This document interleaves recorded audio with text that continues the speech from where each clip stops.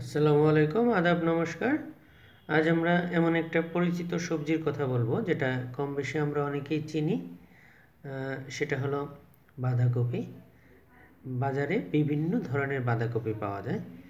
বিশেষ করে আমরা শীতকালে যে সমস্ত বাঁধাকপি বেশি দেখে থাকি, সেগুলো হলো সবুজ কালারের, সাদা কালারের। বেগুনি, যেটা রেড ক্যাবেজ নামে পরিচিত, অনেকে একে চায়না ক্যাবেজ হিসেবে অভিহিত করে থাকে। আজ আমরা রেড ক্যাবেজ বা বেগুনি কালারের ক্যাবেজের বিভিন্ন উপকারিতার সম্বন্ধে আমরা বলব।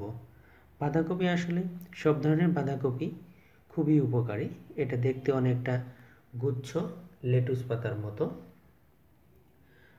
বাঁধাকপি মানসিক এবং শারীরিক ভারসাম্য রক্ষায় এবং অ্যালজাইমার ঠেকাতে বিশেষ ভূমিকা পালন করে থাকে এই বেগুনি বাঁধাকপি।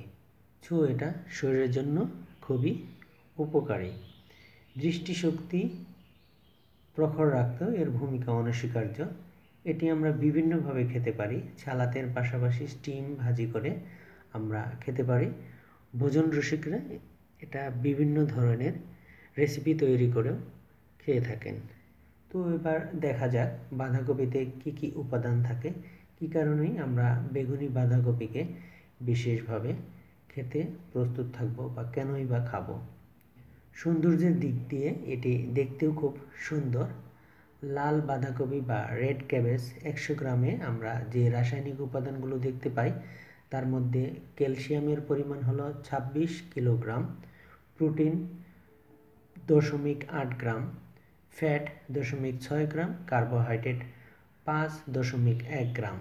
আর বাকি অংশ অর্থাৎ নাইনটি ওয়ান পার্সেন্ট একানব্বই পার্সেন্টই হলো পানি বা জল। লাল বাঁধাকপিতে এছাড়াও থাক পাওয়া যায় পটাশিয়াম ম্যাগনেসিয়াম ম্যাগনে, ক্যালসিয়াম, সোডিয়াম, ফসফরাস, লৌহ ইত্যাদি, যা শরীরের জন্য অত্যন্ত উপকারী। লাল বাঁধাকপিতে এছাড়াও থাকে প্রচুর পরিমাণে vitamin A B one B two B five B six B nine C biotin PP ইত্যাদি।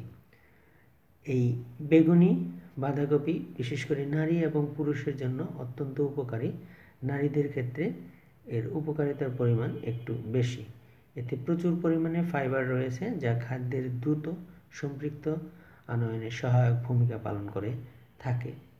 সেলুলোজ, হৃৎপিণ্ডের রোগ এবং রক্তবাহী, কোষ্ঠকাঠিন্য এবং ডায়াবেটিক্স স্থূলতা ক্যান্সারের প্রতিরোধে বিশেষ ভূমিকা পালন করে থাকে। এছাড়া বাঁধাকপির পাতাগুলি বেগুনি রং, তার অ্যান্থোসায়ানিন রঙের উপস্থিতির কারণে হয়ে থাকে। অ্যান্থোসায়ানিন একটি শক্তিশালী অ্যান্টিঅক্সিডেন্ট আমরা জানি, যা কার্ডিওভাস্কুলার সিস্টেম এবং ক্যান্সার রোগ প্রতিরোধে অত্যন্ত গুরুত্বপূর্ণ ভূমিকা পালন করে থাকে। লাল বাঁধাকপিতে অন্যান্য কালারের বাঁধাকপির তুলনায় প্রচুর পরিমাণে ভিটামিন সি পাওয়া যায়, যা কিনা শরীরের জন্য বিশেষ করে সংক্রমণজনিত রোগ, ঠান্ডা বা এই জাতীয় রোগ থেকে আমরা খুব সহজেই রক্ষা পেয়ে থাকি। লাল বাঁধাকপিতে নতুন আরেকটি ভিটামিন আবিষ্কৃত হয়েছে যা ইউ নামে পরিচিত, যা গ্যাস্ট্রো ইন ইন্টেস্টাইনাল এবং ট্রাঙ্কের জন্য খুবই উপকারী। এই বেগুনি কালার বা লাল বাঁধাকপিতে আরেকটি বিশেষ উপাদান রয়েছে, যেটা হলো ডিমিনেশিয়া বা যা কিনা অ্যালজাইমার রোগ এবং স্নায়বিক দুর্বলতা দূর করতে অত্যন্ত ভূমিকা পালন করে থাকে। এছাড়া লাল বাঁধাকপি বা রেড ক্যাবেজ ধূমপায়ীদের জন্য তাদের শ্বাসতন্ত্রের সিস্টেম এর বিভিন্ন ধরনের ড্যামেজ খুব সহজেই সারিয়ে তুলতে পারে। এটি নিকোটিন প্রিসাইপিটেটেস শরীরে পরিষ্কার করতে সাহায্য করে। সো এটা ধূমপায়ীদের জন্য একটা মহৌষধ হিসেবে কাজ করে থাকে।